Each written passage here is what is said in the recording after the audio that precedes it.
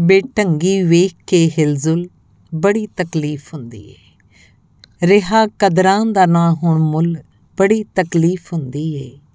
ਜੇ ਦੁਸ਼ਮਣ ਮਾਰਦਾ ਪੱਥਰ, ਰਤਾ ਵੀ ਫ਼ਰਕ ਨਹੀਂ ਪੈਂਦਾ, ਮਗਰ ਸੱਜਣ ਜੇ ਮਾਰੇ ਫੁੱਲ, ਬੜੀ ਤਕਲੀਫ ਹੁੰਦੀ ਏ।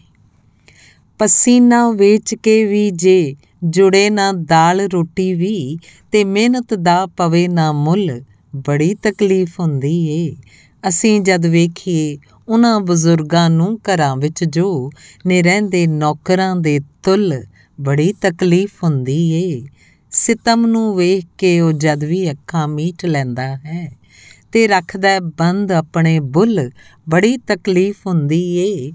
ਬੇਗਾਨਾ ਜੇ ਕਰੇ ਗਲਤੀ ਗਿਲਾ ਹੁੰਦਾ ਨਹੀਂ ਉਸਤੇ। ਜਦੋਂ ਆਪਣਾ ਕਰੇ ਉਹ ਭੁੱਲ, ਬੜੀ ਤਕਲੀਫ ਹੁੰਦੀ ਏ। ਜਦੋਂ ਆਪਣਾ ਕਰੇ ਉਹ ਭੁੱਲ, ਬੜੀ ਤਕਲੀਫ।